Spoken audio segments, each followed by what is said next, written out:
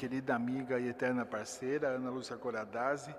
Ela escreveu ah, no final do corredor, O Médico e o Rio, Pancadas na Cabeça, e lançou agora, de mãos dadas, um olhar da Slow Medicine para a Oncologia. E por isso deixei para ela a pergunta se Slow Oncologia é cuidado paliativo.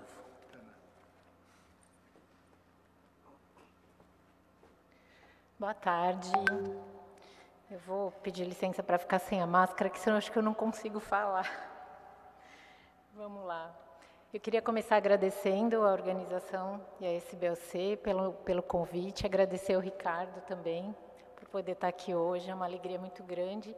E queria agradecer a Ana e ao Douglas pelas palestras. Não tenho nem roupa para estar aqui falando depois dos dois. Mas vamos lá, que nós é cara de pau, né? A gente enfrenta. O Ricardo me pediu, na verdade, para eu responder uma pergunta. Se slow oncology, a oncologia sem pressa, é cuidado paliativo. Eu não tenho nenhum conflito de interesse para responder uma pergunta dessa, para mim é bem tranquilo, aliás. E, na verdade, eu acho que isso tudo começa com dúvidas que surgiram na minha cabeça, porque a minha formação é de oncologista, né? Depois é que eu fui procurar cuidados paliativos, e uma pergunta que sempre ficava na minha cabeça era por que nós, oncologistas, não conseguimos parar. A gente via, acho que todo oncologista já viu, os paliativistas mais ainda, aquelas situações em que a gente tem pacientes que estão em franca fase final de vida, às vezes em processo ativo de morte, recebendo quimioterapia ali no leito de enfermaria, né? A gente vê esses pacientes entubados fazendo diálise e o paciente em oitava linha de química, eu nem sabia que existia oito linhas, né? E a gente não consegue parar. E aí me veio à cabeça essa teoria do martelo, que na verdade diz respeito à nossa formação como oncologistas, né? Quando a gente está na faculdade, depois na residência, a gente aprende a ver as doenças, e em especial o câncer, como inimigos a serem vencidos, né? como pregos a serem martelados. Então, todas as doenças a gente põe no mesmo saco e se a gente tem prego para martelar, a gente precisa desenvolver nosso martelo. Quanto maior o prego, maior o martelo que a gente quer. E o câncer é um tremendo de um prego, né? Então o oncologista ele vai aumentando o tamanho do martelo, ele vai aumentando o tamanho do martelo. E ele dedica muito tempo e muita energia nisso. E às vezes é, a gente vai perdendo nesse processo a nossa capacidade de reconhecer quando o que tem na nossa frente não é um prego. Às vezes o nosso paciente é muito mais uma flor delicada do que um prego, mas a gente só tem um martelo na mão. E a gente vai lá e martela a flor, né? É isso que a gente acaba fazendo. E a gente não faz isso só nos nossos pacientes que estão em oitava linha de quimioterapia. A gente não consegue parar de pedir exame, a gente não consegue parar de solicitar tomografia, a gente não consegue parar de falar para o paciente que ele vai ficar bom, a gente não consegue conversar com eles, ter uma conversa importante sobre prognóstico, porque para quê, né? Vamos enrolar mais para frente, né? E a gente vai levando isso. O fato é que nem sempre foi assim, né? Não só na oncologia, mas na medicina de uma maneira geral. Acho que todo mundo conhece esse quadro lindo, né? O The Doctor foi pintado em 1871 e nele a gente vê a dedicação de um médico que tinha muito pouca ciência para oferecer. Acho que ele já tinha usado tudo que ele tinha ali, né? Os chás, os unguentos, as compressas, etc. Mas ele continuava ali do lado, pensando: como é que eu posso ajudar? Como é que eu posso estar do lado? Esses médicos até se mudavam, né, para as casas dos pacientes para poder ajudar da forma como desse, né? O Rubem Alves viu esse quadro uma vez na sala de espera de um pediatra e escreveu sobre esse quadro isso aqui. Nós amamos o médico não pelo seu saber e nem pelo seu poder, mas pela solidariedade humana que se revela na sua espera meditativa. E todos os seus fracassos, pois não estão todos eles condenados a perder a última batalha, serão perdoados, se no nosso desamparo percebermos que ele silenciosamente permanece e medita junto conosco. Essa era a visão que se tinha do médico. Mas algo mudou drasticamente, tanto que o próprio Rubem Alves, um tempo depois, descreveu a gente assim. O médico é uma unidade biopsicológica móvel, portadora de conhecimentos especializados e que vende serviços. Qualquer semelhança com oncologia não é mera coincidência. Né? Nós, oncologistas, aprendemos a ser isso hoje. A gente sabe muito sobre as drogas, a gente sabe muito sobre o câncer no nível molecular, né? a gente está altamente especializado. E a gente vende esse serviço para os outros, muitas vezes atropelando aquele paciente que incomodamente está na frente do câncer que a gente quer tratar, né? E a gente migrou, na verdade, né, de um cenário onde a gente tinha muita proximidade e pouco conhecimento para um cenário onde a gente tem muito conhecimento e pouca proximidade.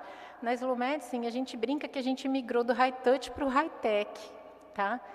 Não necessariamente isso é ruim, né? A gente tem um lado bom nisso. A gente teve muitos ganhos, né, com essa tecnologia, com esse conhecimento todo. A gente ganhou em taxa de cura, a gente ganhou em, em tempo de vida, ganhou em qualidade de vida. E isso é irrefutável. O problema é que a gente não se deu conta do que a gente perdeu no caminho. A gente perdeu muito a nossa capacidade de individualização. Né? A gente trata todos os pacientes como se eles estivessem participando dos protocolos clínicos, né? Eles foram extraídos do estudo clínico da New England e colocados ali na sua frente no consultório. A gente diminuiu a nossa capacidade de contextualização.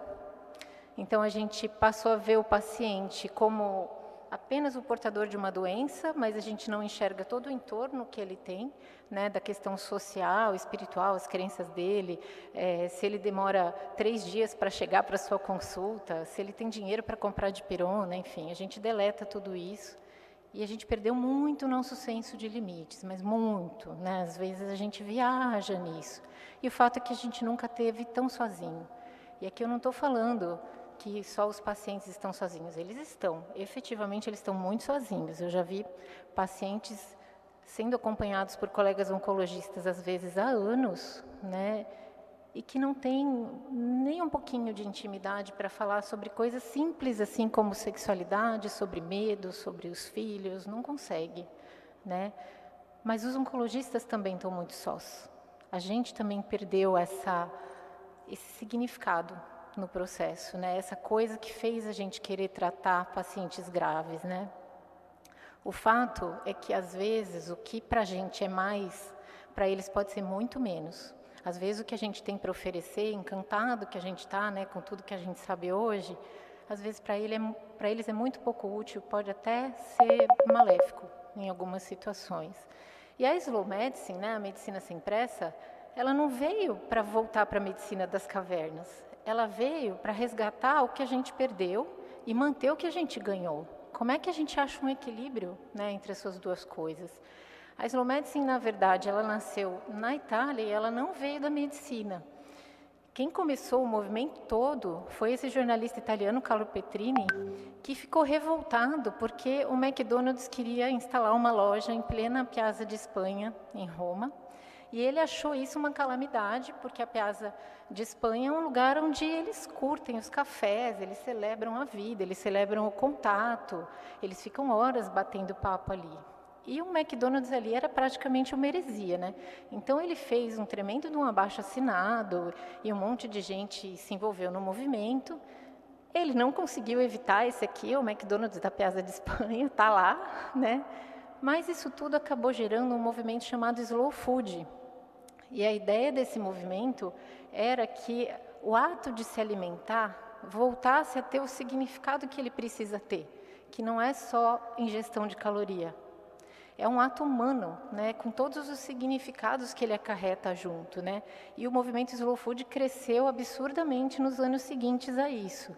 Até que em 2002, um cardiologista italiano resolveu trazer esse conceito para a saúde, porque a saúde, tanto quanto a alimentação, é uma necessidade humana básica e que não está ligada só no biológico. Né? Ele escreveu o primeiro artigo que usou o termo slow medicine, né? foi esse cardiologista, e depois começaram a surgir as publicações em língua inglesa. O My Mother, Your Mother, foi escrito por um geriatra, Denis McCullough, que aplica esse conceito de sem pressa no envelhecimento, e o Dr. Ledbauer, que escreveu o primeiro artigo de Slow Medicine, mesmo explicando quais eram os princípios para se ter um novo olhar, uma nova postura no exercício da medicina. E aí nós, brasileiros, trouxemos isso para o Brasil nas mãos do Dr. Dário Birolini, que é cirurgião do trauma, vejam só, da USP, né? Ele traduziu O Doente Imaginado, que é um livro de um, também de um cardiologista italiano, Marco Bobbio, e depois, dois anos depois, o Zé Carlos, que é geriatra, montou o site slowmedicine.com.br e começamos a ter coisas em língua portuguesa aqui. E aí o movimento cresceu muito. Hoje a gente tem um dos movimentos mais é, vibrantes do mundo no Brasil. A gente tem até liga acadêmica aqui, é, tem podcast, o site é super rico. Então, assim, isso cresceu bastante. E os princípios fundamentais né, para se exercer a medicina numa forma slow vieram da Holanda, mais ou menos na mesma época que a gente trouxe o movimento para o Brasil. E são dez princípios que regem a postura do médico, né? o tempo, não só o tempo cronológico, mas o tempo para você digerir o que está acontecendo, entender, discutir com seu colega, raciocinar em qual é a melhor estratégia, voltar, rever, enfim. Aquilo que a gente aprende a fazer na faculdade que hoje a gente abandona, né, em nome do, do, de tocar o serviço. A individualização, de conhecer a pessoa por trás da doença, né, colocar a doença num segundo momento a autonomia e o autocuidado, dar voz para esses pacientes, ouvir o que eles têm para dizer antes da gente definir qual é a melhor conduta para eles. O conceito positivo de saúde, que é gigante, inclui inclusive questões ecológicas ligadas à saúde, a questão de mudanças da sociedade, políticas públicas, etc.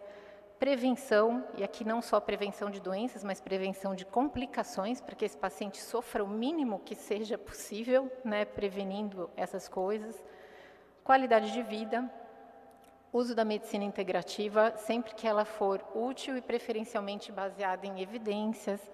A segurança sempre em primeiro lugar, e aqui a Slow Medicine é fortemente, tem um pé fortemente é, fincado na medicina baseada em evidência, né, justamente porque a segurança dos pacientes está acima de tudo. Paixão e compaixão, obviamente, e o uso parcimonioso da tecnologia que, se a gente fosse resumir, significa não oferecer tudo para todos, e sim o necessário para cada um. A hora que a gente olha né, tudo isso, a gente vê que, na verdade, a slow medicine é uma postura, né? Ela não é uma técnica, ela não é uma especialidade, é um jeito de exercer a sua profissão, tanto que ela não se aplica só a médicos. Qualquer profissional da saúde deveria atuar é, com essa postura diferente. E fica muito fácil a gente ver as intersecções com cuidados paliativos, obviamente, né? Porque o paliativista há muito tempo entendeu que é assim que a gente deveria agir com os nossos pacientes, né? Mas respondendo à pergunta da aula, slow oncology é cuidado paliativo? É também, porque os nossos pacientes oncológicos, em grande número, acabam necessitando de uma abordagem em cuidados paliativos. Muitos têm situações incuráveis, irreversíveis, que ameaçam a qualidade de vida e a continuidade da vida. Mas eu diria que ela não só é isso, porque os conceitos da slow medicine, eles não têm que ser aplicados só nesses pacientes que têm uma situação específica que, que é, limita a sua vida. A gente pode ir além, né? seria até injusto se a gente não fosse. Tem alguns pontos que eu acho que são os mais importantes para a gente ressaltar. Primeiro que a gente tem que pensar que, no câncer como uma doença heterogênea. Por incrível que pareça, o oncologista agora que está aprendendo a entender a diferença entre câncer, câncer e câncer. É tudo diferente, né? E a gente tem a palavra câncer meio incrustada assim no nosso DNA, né? Você fala câncer, você já vem com uma escopeta, né? A gente faz isso, pacientes fazem isso, o MD Anderson faz isso, eles querem eliminar o câncer do mundo, né? Então, assim, é um grande inimigo a ser vencido, mas às vezes o câncer é só um câncer, né? Talvez ele nem precise ser tratado. Hoje a gente começou a ver estratégias mais inteligentes para lidar com isso. Né? Será que todo câncer precisa de tratamento? Se precisa, tem que ser tão agressivo? Precisa ser hoje ou pode esperar? Né? Então, é, essa primeira trava o oncologista tem que ter na cabeça para que ele seja um oncologista slow, né? sem pressa. A segunda coisa são as grandes limitações dos estudos clínicos oncológicos. Esse livro do Vinay Prasad, o Vinay Prasad é um grande oncologista, e ele escreveu o Malignant pensando em como a gente pesquisa mal em câncer, como a gente usa endpoints e objetivos de estudo que pouco atendem os objetivos que os nossos pacientes querem. Muitas vezes a gente aprova drogas revolucionárias porque elas aumentam o tempo livre de progressão.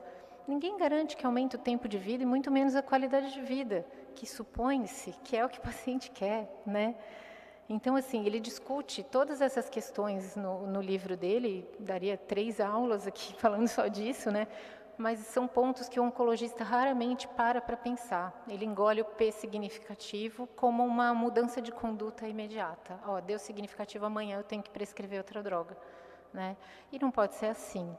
A outra questão é a grande heterogeneidade de contextos. Né? A gente viu hoje de manhã nas palestras de geriatria o quanto os idosos, por exemplo, são excluídos dos nossos estudos clínicos, mas a gente usa os estudos clínicos como se eles estivessem lá e o benefício para eles vai ser exatamente igual e está tudo certo.